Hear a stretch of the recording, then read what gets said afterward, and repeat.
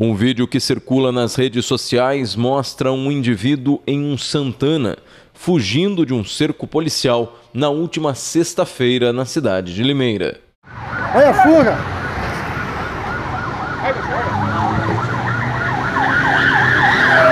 Nossa, o perigo! Os dois indivíduos fugiram pelos bairros Ernesto Quil e Jardim Aeroporto quando causaram um acidente de trânsito e bateram em um veículo Honda Fit. O adolescente foi apreendido e o maior preso. No veículo, os policiais encontraram maconha. Sempre de olho no que acontece nas ocorrências policiais. Na cidade de Limeira, Lucas Claro, para o Rápido no Ar.